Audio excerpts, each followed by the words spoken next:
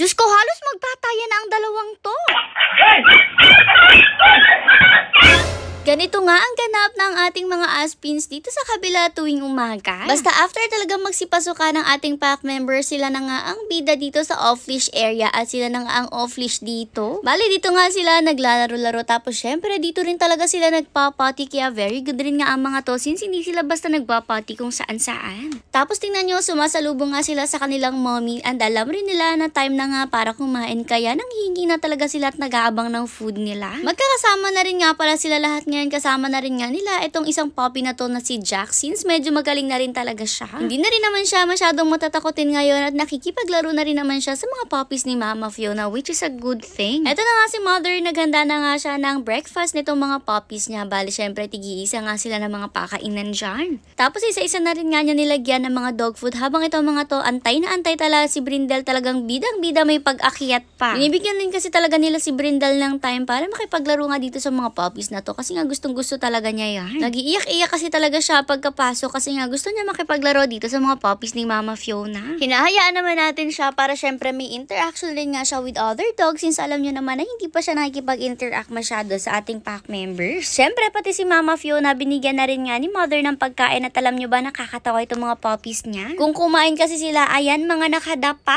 ay grabe parang antatamad ba? Diba? Pero sabi nga ni Mother siguro daw ay nabababaan sila sa pakainan at dapat talaga elevated yung mga pagkain nila at gagawin nga daw ni mother yan ng paraan. Sabi rin nga ni mother dapat daw siguro pati pack members natin elevated yung mga pakainan para hindi sila masyadong tungong-tungo kung kumain. Kasi imagine nyo nga to mga to mga puppies pa lang sila at hindi pa talaga masyadong katangkaran pero hirap na nga silang kumain masyado at lagi sila nakadapa kung kakain. Dahil nga nabababaan na sila sa pakainan eh paano pa daw kaya yung ating pack members na ang lalakit ang tatanggad tapos mababa rin talaga yung pakainan. Tinan nyo nga itong mga puppies na to umalis na nga sila sa mga pagkain nila pero bumalik nga ulit tapos nakadapa pa rin. Si Brindle naman nakakain na siya sa loob kasabay ng pack members kaya naman nagpapaaraw na nga lang siya dyan at tingnan nyo talagang doon siya pumepwesto kung nasaan yung init. Grabe naman talaga itong si Brindle palagi rin nga niyang gusto na nasa initan siya. Kaya imagine nyo na lang kung anong pakiramdam niya pag nasa loob eh naka-aircon siya eh mas bet na bet nga niya yung naiinitan siyang ganyan. Habang itong mga puppies nga yan sinumpa ni mother para nga makita nyo kung ano yung pwestuhan nila kapag kumakain talagang hanggang sa maubos yung pagkain nila nakadapa nga silang ganyan. Nakikisalo rin nga pala sa kanila itong si Jax. Tapos nakaupo na rin nga siya kung kumain. Siguro nakikita niya nga sa mga puppies na to. Kaya ginagaya niya. Si Brindle rin nga tumayo siya saglit dyan. Tapos tinan niyo bumalik ulit siya sa initan. O di ba napakagaling ng batang ito. Anyways, after nila magsikainan, ayan binigyan na rin nga sila ng tubig na iinumin nila dyan. Yung iba nga umiinom muna saglit. Tapos saka sila babalik dito sa pagkain nila.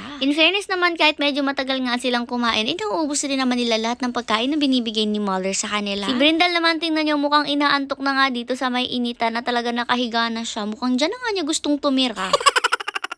Anyways, habang ito mga to nga ay busy-busy pag-ubos ng mga pagkain nila dyan at pauli-uli pa talaga sila hindi magkaintindihan kung saan ba sila dyan kakain. Si Kuya Edmar nyo naman nagpapakain siya ng mga pusa natin at syempre si Mama Fiona andito rin nga hindi pa ginagalaw yung pagkain niya. Nakakalapit rin nga pala si Brindel kay Mama Fiona kasi mabait naman talaga itong si Mama Fiona. Yun nga lang talaga tayo yung hindi makalapit dito kay Mama Fiona since nagagalit talaga siya, nangangagat na talaga siya ngayon guys at nagagaw. Kaya naman ito, zinuzoom na lang ni Mother para makita nga niya yung sugat ni Mama Fiona kung mahilom na ba siya kasi kung okay na, pwede naman na natin siyang palabasin. Anyways, nung kinagabihan, di ba alam nyo naman na si Brindel madalas pinalalabas? Bali dito nga pinalabas siya para makapag-potty tapos after niya mag-potty, nakikipag-play nga siya dito sa anak ni Mama Fiona na to. Nung una naman, okay pa sila, laro-laro lang talaga since ganyan naman talaga yung palagi nilang ginagawa. Parang tropa-tropa na lang sila dito kapag lumalabas siya dahil di naman sila nag-aaway talaga at all. More on kulitan lang din naman talaga sila dyan. Tingnan nyo talaga naglalaro pa nga sila nung mga oras na yan. Rin naman si Kuya Edmar nyo, lumabas pa nga siya dyan at umupo dito sa labas para tumambay since malasarap nga yung hangin dito. Habang busy sila paglalaro, nagulat si Kuya Edmar nyo nang biglang ganito na yung nangyari.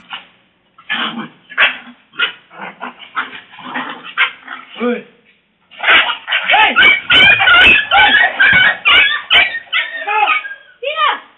Ayan kita nyo naman nagkapikunan at si Brindel talagang kinagat niyang maigi yung isang puppy na kahit sumigaw na nga ng hoy si Kuya Edmar nyo, hindi sila tumigil. Alam nyo naman, usually sa sigaw pa lang na hoy ni Kuya Edmar nyo, takot na to mga to. Pero itong si Brindel talagang hindi niya tinigilan yung puppy. Talagang nanggigil siya, kagat-kagat niya at hindi niya talaga pigilan at hindi niya bitawan. Kaya naman wala ng choice si Kuya Edmar nyo kung hindi paluin na nga siya. Yun nga lang, yung palo na yun, hindi rin talaga tumama kay Brindel at sumala talaga. Kaya naman, ayan, hindi rin agad basta nakaalis si Brindel at nakagat pa nga niya ng more pa yung